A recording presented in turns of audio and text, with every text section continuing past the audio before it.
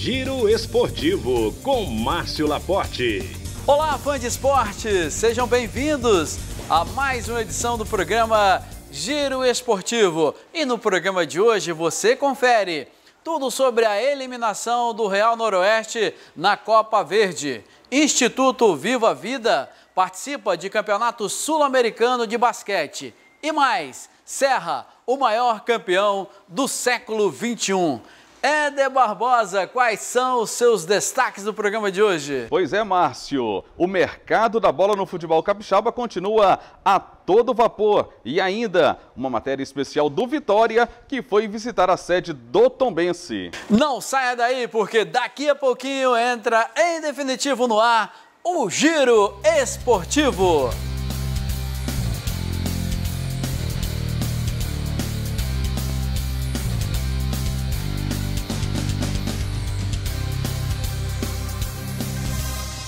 Fã de esporte está no ar. Agora sim, em definitivo, o programa Giro Esportivo. E a primeira pergunta vai para o nosso comentarista, Éder Barbosa. Estamos cumprindo o dever de cobrir o esporte capixaba? Cada dia melhor, Márcio. Todo mundo falando em qualquer parte que se anda na Grande Vitória, no interior, todo mundo falando do giro esportivo. Éder, e vem aí a Copa do Mundo. E é claro, você é empresário, você é dono de bar, restaurante, que quer a presença aí do Giro Esportivo, é só nos convidar que estaremos fazendo uma matéria, né, Éder? Tá na hora de convidar o Giro Esportivo para fazer aquela festa juntamente com você na Copa do Mundo. Para começar o programa de hoje, Real Noroeste Vila Nova. E o Real até que jogou de pau a pau contra o Vila Nova, não foi isso? Jogou muito bem, teve a chance de ganhar essa vaga na Copa Verde, teve a chance duas vezes nas penalidades, mas acabou desperdiçando. Vamos conferir então como foi essa eliminação da equipe capixaba na Copa Verde? Na tela.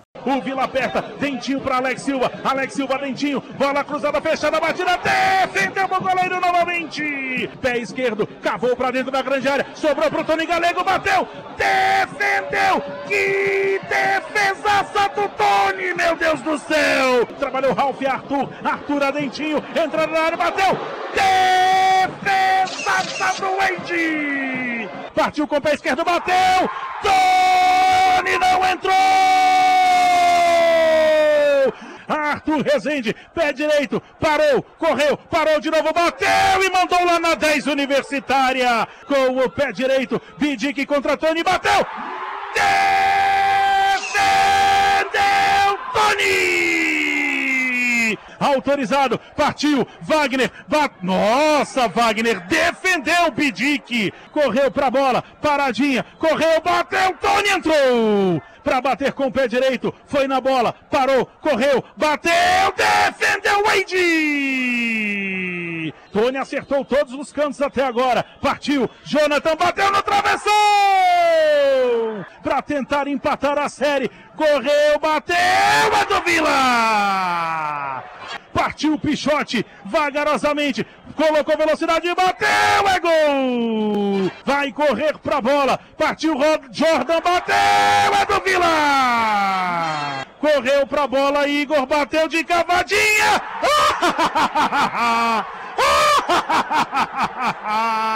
Vai partir para bater com o pé direito. Partiu. Alisson bateu. Defendeu o goleiro. Partiu Ítalo para batida, mandou lá na 10 universitária. Autorizado Railan, vai partiu para bola. Partiu, bateu e acabou! É do Vila! Éder Barbosa, pelo que eu conheço, o presidente do Real, o Flares Olímpio da Rocha, eu acho que teve após o jogo aquele puxão de orelha, porque não é possível um time ter várias, várias, várias chances de matar a série de pênaltis e não matar. E não foi a primeira vez que aconteceu com o Real Noroeste, né, Márcio? Já não é a primeira vez que isso aconteceu. Em disputa de pênaltis, a equipe acaba vacilando. Aí tem que ver, né? Tá faltando treinamento, concentração. O Real Noroeste perdeu uma grande chance nessa Copa Verde. Vamos fazer o seguinte: coloca de novo essa cavadinha desse cara do Real aí. É inadmissível. Se eu sou presidente, amigo, eu vou chamar a atenção desse cara. Ele bateu uma cavadinha, mas a cavadinha toda desqualificada, não foi não, Éder? Essa cavadinha falhou, né? E não pode, numa decisão dessa, numa competição muito importante que é a Copa Verde, a chance do Real Noroeste passar, já que enfrentou as equipes na Copa Verde, equipes reservas, poderia ter passado a próxima fase. Agora, um dos destaques é esse goleiro Andy, que pegou pênalti e foi, sem sombra de dúvida, um paredão, não é isso, Éder? Aliás, o Real está bem servido de goleiros, né? Pegou muito bem, a, a equipe do Real acabou vacilando mesmo na hora de converter, mas fazer o quê? Esperar a próxima oportunidade. Aquela crise, aquela pequena crise com o zagueiro Vinícius, você acha que pode ter afetado ou não tem nada a ver, Éder? Ah, sempre respinga alguma coisa, né? Infelizmente, pode ter acontecido sim alguma coisa, mas ficou bem claro que o Real teve a chance e aí foi lá dentro de campo. Aí não tinha a ver mais com a crise, foi dentro de campo, na hora de bater, ter concentração, categoria, calma, respirar fundo e fazer o gol. Faltou isso. Agora, Éder, estamos a menos de dois meses do Capixabão abertura. O Real vem como uma base forte, o Real é o favorito nesse capixabão? Você que analisa de fato as equipes capixabas? É um dos favoritos porque mantém a base. Isso é importante em qualquer time. O Real Noroeste sempre mantendo a sua base na competição, por isso é sim um dos favoritos para levantar a taça mais uma vez. Éder, agora vamos ó, daquela bolinha maior, aquela que faz assim, ó, tum, tum, tum, ó.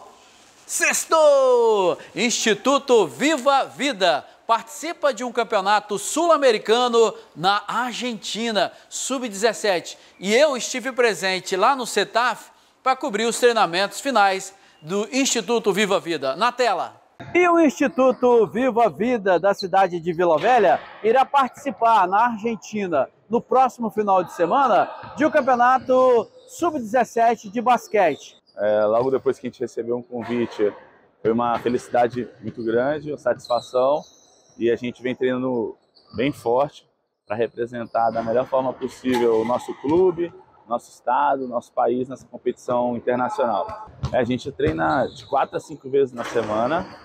É, os meninos na parte da tarde fazem a, a, parte física e na parte da noite a gente faz a parte técnica e tática, mais ou menos de duas horas de treino. A gente sabe que vai ter uma dificuldade grande, vão ter equipes da Argentina, do Chile, do Uruguai, do Paraguai, é, praticamente da América do Sul toda, então a gente não conhece muitos adversários, mas a gente vai fazer o nosso melhor e tentar trazer a medalha para o Espírito Santo. Gostaria até de agradecer aqui o governo, em nome do Renato Casagrande, o secretário Júnior Abreu. É, todas as passagens são pelo programa Compete do governo do estado. É um sonho que está vem se realizando para os meninos, para os atletas, técnicos. A gente espera fazer bom torneio, um torneio bem difícil, que vai ter vários times da Argentina, Chile, Paraguai mas acho que a expectativa em geral é de fazer um bom campeonato. Agradecimento primeiro ao governo do estado, que está dando uma ajuda fenomenal, tanto para as passagens que seguiu pelo governo, é, o Bolsa Atleta que a gente consegue, é, a gente ganha para conseguir comprar é, nossos equipamentos, tênis, camisa, e agradecer ao clube por estar dando essa oportunidade para a gente. Pelo treinamento que a gente passou durante esses meses todos, a gente treinando todo dia, toda semana, eu espero que a gente fique um dos, um dos melhores colocados lá da categoria. Cada dia teve um desafio, tanto pela jogada quanto pela agilidade, mas a gente foi se adaptando. A preparação em si, tudo, no início não foi muito boa, mas quando a gente foi se adaptando, trabalhando em conjunto, a gente conseguiu se adaptar melhor. Éder Barbosa, Campeonato Sul-Americano, Sub-17. A garotada tá bem, né? Inclusive estão jogando neste sábado lá na cidade, né, na Argentina praticamente ali, um país vizinho aqui, e a gente fica na expectativa de fazer ou não uma boa participação, né? É, sempre bom. Aliás, aqui é um celeiro, né? Sempre bons jogadores e é bacana ver, né? Uma equipe saindo aqui do estado do Espírito Santo, indo representar o nosso estado na Argentina. Bacana demais, fica aqui a nossa torcida. Éder, eu queria agradecer ao João que me convidou para fazer essa matéria que não é o João aqui da Ícone, mas é um grande amigo, grande parceiro. Rapaz, falar em Ícone eu fico doido, né? A Ícone é o melhor do esporte. Eu acho que a gente tem que falar. Mas falando no João, o que, que acontece? Presta atenção. É... Eu queria agradecer ao governo do estado, porque através do Júnior Abreu, ele deu todas as passagens aéreas da delegação. E o Júnior Abreu, você vê nessa foto aí, ó, bota essa foto na tela, Lu. O Júnior Abreu está na delegação, chefiando a delegação. Cara, eu vou falar aqui para você, ó.